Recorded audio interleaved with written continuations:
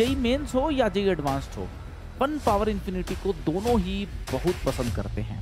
मैं सोच रहा हूँ इस एन को इधर ले लेते हैं और एक्स को इधर ले लेते हैं। कर सकता हूँ ना?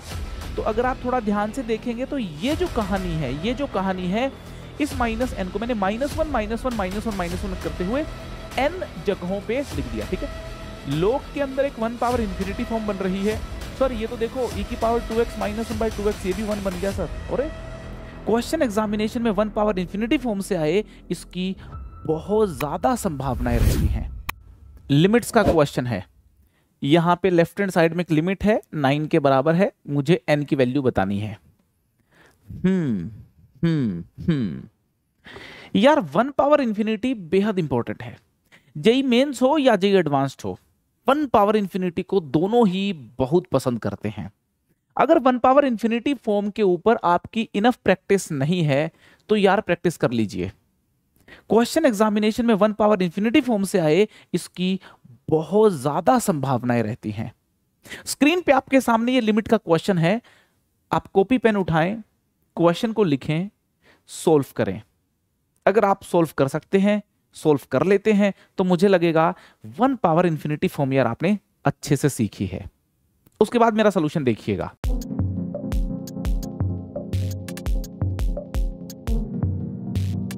यहाँ पे एक लिमिट लिखिए, देखिए। वन बाय एक्स इंटू, यहाँ पे इंटू एल एन है ना? एल एन बोले तो लोग विद बेस ई ठीक है ना? और इसके अंदर ये मसाला लिखा हुआ है।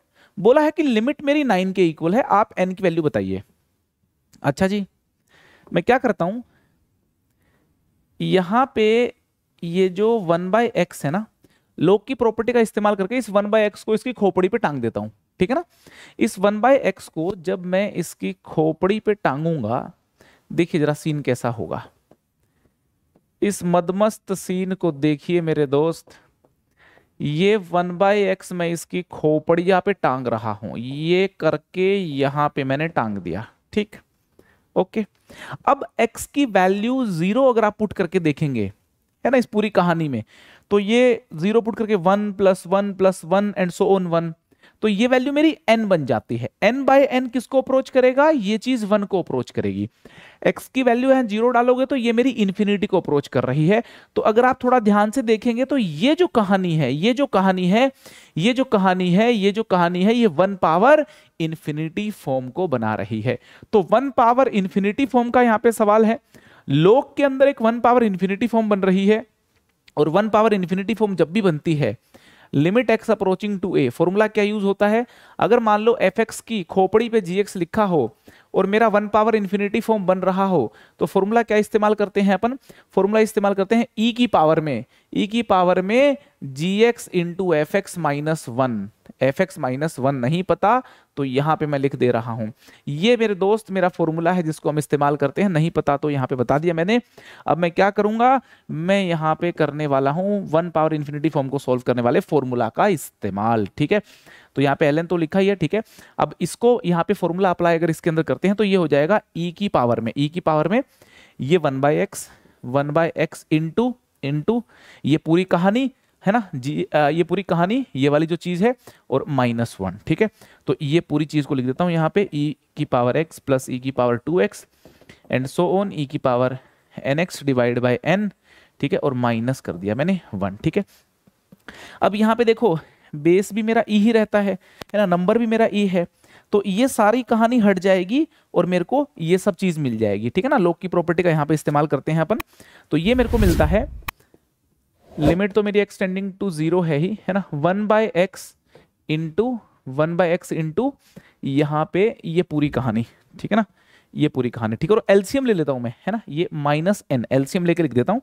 तो जब मैं एलसीएम लूँगा तो ये हो गया ई की पावर एक्स प्लस ई की power two x plus e की पावर थ्री एक्स ऐसा करते करते करते ई की पावर एन एक्स तक तो था ही, है ना? फिर मैंने माइनस वन को एन से मल्टीप्लाई करके एलसीएम ले लिया ना? तो माइनस एन हो गया, ठीक है? यहाँ तक देख लो, यहाँ तक मेरे को लगता नहीं कोई समस्या आपको होगी, ठीक है? अब देखो, यहाँ पे एन टर्म्स है ना? ये आपको बता दी थी मैंने एन टर्म्स है। क्लियरली आप देख देख सकते हो। अब एन टर्म्स हैं और यहाँ माइनस एन है। तो इस माइनस एन को मैं क्या कर रहा हूँ? माइनस वन इसको दे रहा हूँ माइनस वन इसको दे रहा हूँ माइनस वन इसको दे रहा हूँ। मतलब माइनस एन को मैं minus one minus one minus one तोड़ के लिख रहा हूँ। कैसे लिख रहा हूँ? देखिए आप। Minus one minus one minus one तोड़ के लिख रहा हूँ। ई e की पावर एक्स के बगल में माइनस वन लिखा। ई e की पावर टू एक्स के बगल में माइनस वन लिखा। ई e की पावर थ्री एक्स के बगल में माइनस वन लिखा। करते करते लास्ट में ई की पावर एन एक्स के बगल में माइनस वन लिखा। इस माइनस एन को मैंने minus one minus one minus one minus one करते हुए एन जगहों पे लिख दिया, ठीक है? डिवाइड बाय मेरा एन है डिवाइड बाय मेरा एन है अच्छा ये डिवाइड बाय एन इकट्ठा लिख लो या इंडिविजुअल लिख लो, बात तो एक ही है। ठीक है? ये कहानी होगी। इनफैक्ट मेरा एक और मन कर रहा है। मैं सोच रहा हूँ इस एन को इधर ले लेते हैं और एक्स को इधर ले लेते हैं। कर सकता हूँ ना?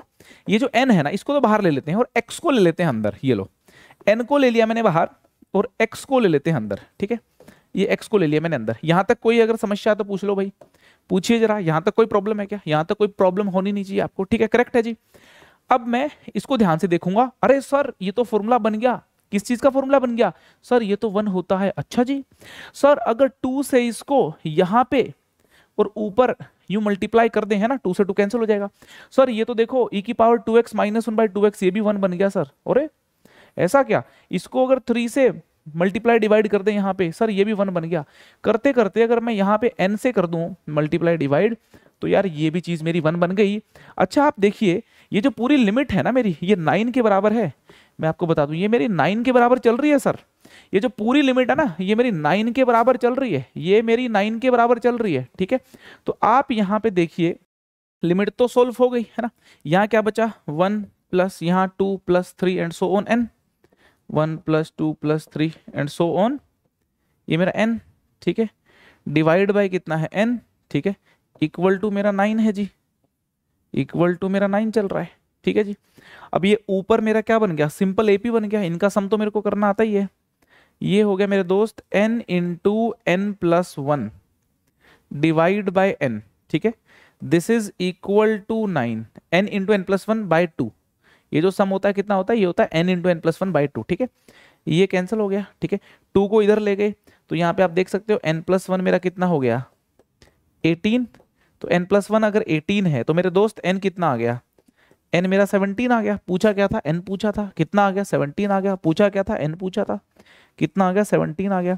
इस तरीके के प्रॉब्लम एग्ज़ाम में टपक जाते हैं यार। इस तरीके क्वेश्चन एग्ज़ाम में खूब टपकते हैं। मुझे लगा इंपॉर्टेंट प्रॉब्लम है है ना? मेरे को ये इंपॉर्टेंट सिनेरियो समझ में आता है कि यार ये सिनेरियो इंपॉर्टेंट सिनेरियो है, ठीक है? अटक जाता है एग्ज़ाम्स में, मेरे को लगा आपके साथ डिस्कस करना चाहिए, इसलिए डिस्कस कर लिया। आई होप आपको बात समझ में आ गई होगी, ठीक है? क्वेश्चन सोल्व करना मैथमेटिक्स का सबसे इंपॉर्टेंट पार्ट है। डिफरेंट डिफरेंट सिचुएशन में डिफरेंट डिफरेंट प्रॉब्लम्स में आप अपने स्किल्स का कैसे यूज़ करते हो? स्किल्स कैसे? आप जो थ्योरी जानते हो प्लस आपके अंदर जो क्वेश्चन सोल्व करने की एबिलिटी कैलकुलेशन करने की एबिलिटी उसको किस तरीके से यूज़ करते हो, बेहद इंपॉर्टेंट है।